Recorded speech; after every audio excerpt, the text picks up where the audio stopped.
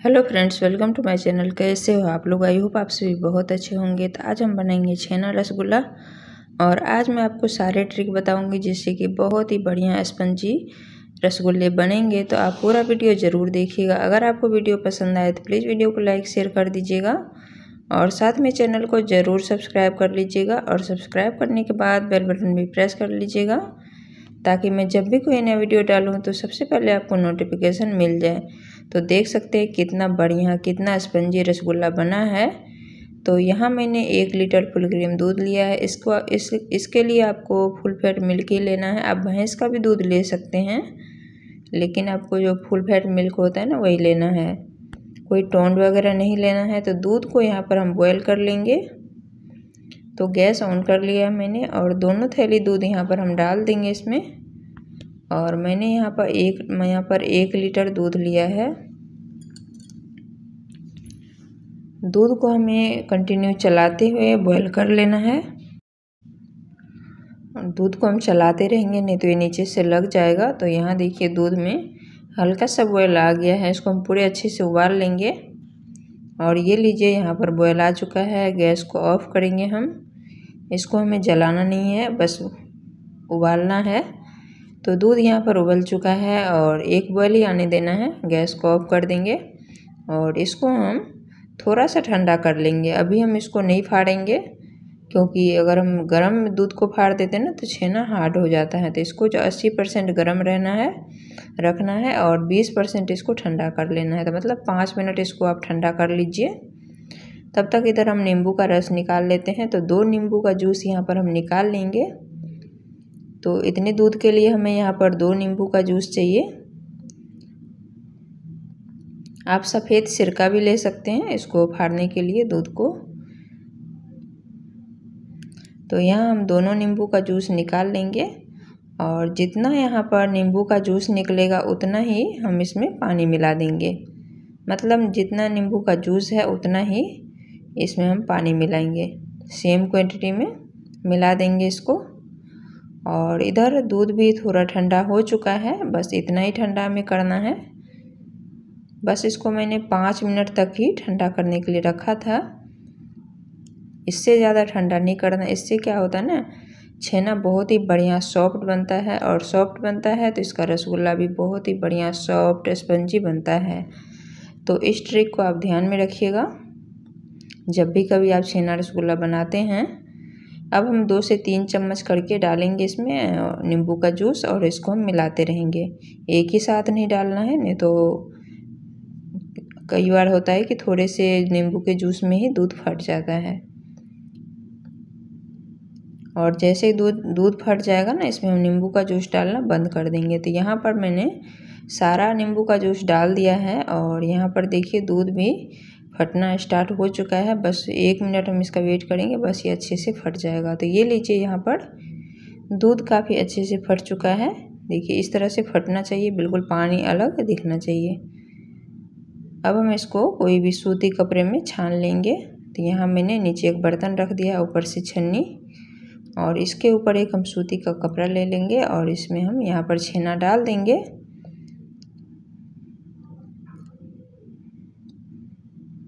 पानी नीचे चला जाएगा और छेना इसमें रह जाएगा।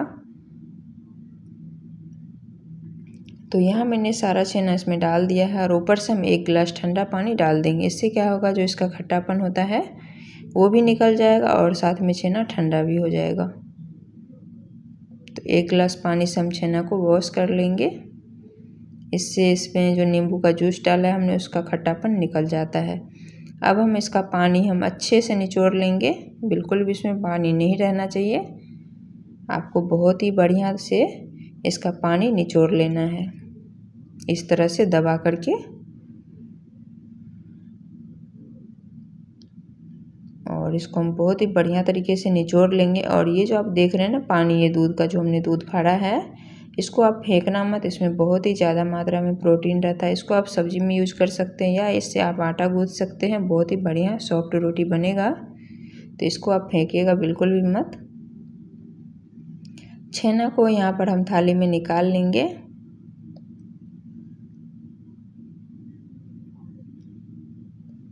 तो यहाँ पर मैंने थाली में इसको निकाल लिया। अब हम इसको हथेलियों से इस तरह से मैश करेंगे। लगभग आठ से दस मिनट तक, जब तक कि अच्छा ये चिकना सा ना हो जाए, जैसे आटे का लोई होता है ना, उस तरह से इकट्ठा ना होने लगे और जो हाथों में चिपक रहा अभी हाथों में और थाली में चिपकना ना बंद हो जाए। तो बहुत ही बढ़िया डो के फॉर्म में जब आ जाएगा ना, तब तक हम इसको अच्छे से मस लेंगे तो यहाँ देखिए बहुत ही बढ़िया से डो सा बन गया डो जैसा। और ये ना तो थाली में चिपक रहा है और ना ही हाथों में। तो यहाँ पर छेना को हमने काफ़ी काफ़ी अच्छे से मसल करके तैयार कर लिया है। इसको लगभग आठ से दस मिनट तक खूब अच्छे से मसलना होता है, जिससे कि बहुत ही बढ़िया रसगुल्ला सॉफ्ट बनता है। अब हम इसका छोटा छोटा बॉल बना लेंगे। तो छोटा या थोड़ा सा बड़ा आप बना सकते हैं अपने पसंद के हिसाब से। तो हम यहाँ पर इसका मीडियम साइज़ का बॉल बना लेते हैं। पहले हम हाथों को क्लीन कर लेते हैं। तो यहाँ मैंने हाथों को क्लीन कर लिया है। अब इसका हम मीडियम साइज़ का बॉल बना लेंगे और सारे छेने का हम इसी तरीके से बॉल बना लेंगे। बिल्कुल गोल होना चाहिए, कहीं से क्रैक नहीं होना चाहिए तो इस चीज़ का आपको ध्यान रखना है। अगर इसमें क्रैक रहेगा तो जब आप इसको बॉयल करेंगे तो ये चाशनी में मिक्स हो जाएगा। तो क्रैक नहीं रहना चाहिए कहीं से। तो यहाँ देखिए, एक तैयार है। इसी तरीके से हम बाकी का भी बना लेंगे और अलग हम इसको रख लेते हैं प्लेट में। तो गोल ही बनाना है आपको, गोल शेप में ही। तो यहाँ देखिए दूसरा भी तैयार है, बाकी का भी सेम तरीके से हम बना लेते हैं। और ये लीजिए यहाँ पर मैंने साढ़े छेने का बाउल बना लिया है। इतने छेने से यहाँ पर लगभग बारह बाउल बन चुके हैं। तो यहाँ पर ये बारह रसगुल्ला इससे तैयार हो गया है मीडियम साइज़ का। अब यहाँ पर हम चाशनी बनाएँगे तो इसके लिए मैंने यहाँ पर दो कटोरी चीनी लिया है और वज़न में ये चीनी 500 ग्राम है। इसके लिए यहाँ पर चार कटोरी इसमें हम पानी डालेंगे तो जितना चीनी लेंगे उससे डबल पानी डालेंगे। तो आधा किलो चीनी के लिए एक किलो पानी, एक लीटर पानी इसमें डालना है आपको। तो यहाँ दो कप चीनी और चार कप पानी यहाँ मैंने डाल दिया है। चीनी में हम, चाशनी में हम बॉयल आने देंगे। गैस के फ्लेम को हाई पे रखेंगे तो ये लीजिए, यहाँ पर चाशनी में बॉयल आ चुका है। और इसको हमें जलाना नहीं है, बस इसमें बॉयल आ चुका है। अब इसमें यहाँ पर हम रसगुल्ले डाल देंगे। तो यहाँ पर एक चीज़ का आपको ध्यान रखना है, एक ही बार में सारा नहीं डालना है एक एक करके डालना है ताकि इसका उबाल ठंडा ना पड़े। और गैस के फ्लेम को हाई पे रखेंगे, इसका उबाल जो है देख रहे हैं ना ये, इसको ठंडा नहीं होने देना है। तो एक एक करके ही डालिएगा। तो यहाँ मैंने सारा रसगुल्ला यहाँ पर डाल दिया है।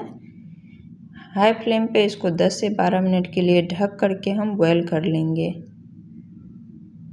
तो यहाँ अभी पाँच छः मिनट हो चुका है। एक बार इसको हम मिक्स कर देते हैं ताकि कहीं ऊपर से ये कच्चा ना रह जाए।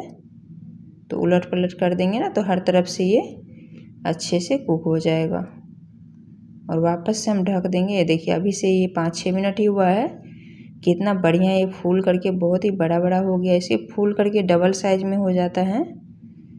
तो ये लीजिए, यहाँ पर 10 से 12 मिनट हो चुका है इसको बॉईल करते हुए और चाशनी भी पहले से गाढ़ी हो गई थोड़ी सी और रसगुल्ला का साइज़ देखिए, कितना बढ़िया ये फूला है और कितना अच्छा बड़ा बड़ा हो गया है और कितना ज़्यादा सॉफ्ट आप देख सकते हैं। गैस को ऑफ़ कर देंगे। और इसको हम दो घंटे के लिए रख देंगे ठंडा होने के लिए या फिर आप फ्रिज में रख सकते हैं, क्योंकि रसगुल्ला ठंडा ठंडा ही खाने में अच्छा लगता है तो इसको आप पूरी तरीके से ठंडा कर लीजिए।